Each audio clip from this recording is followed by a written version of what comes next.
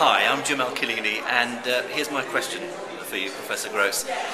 Do you think that we are any closer to really reconciling the forces of nature? You, what, is, what is your view on string theory, and whether one day we will have a theory of everything? Hi, Jim. So your question is, will we ever have a theory of everything? Um, I don't know. I'm agnostic on the subject. Usually, the way that question is asked presumes that we know what everything is, what are all the questions we would like to answer. Um, and the history of science tends to teach us that once we think, once we have achieved um, the answer to all the questions we can ask in a given area, such as the fundamental laws of physics, for example, New questions arise that we didn't know how to ask before. We didn't know enough to ask those questions.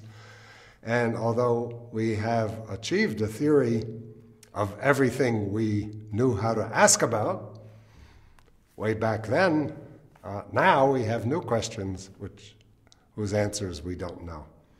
So um, I think at the present, uh, the questions we ask are, are quite profound and deep, and they seem to include all possible questions we could ask about elementary particles and forces and the fundamental laws of physics.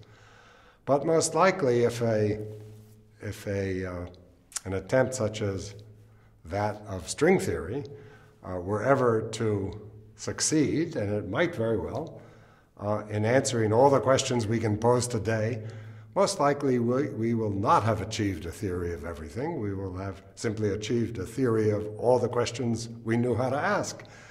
And at that time, we will realize that there are new questions that uh, at the moment we don't know enough to ask uh, that will still be open.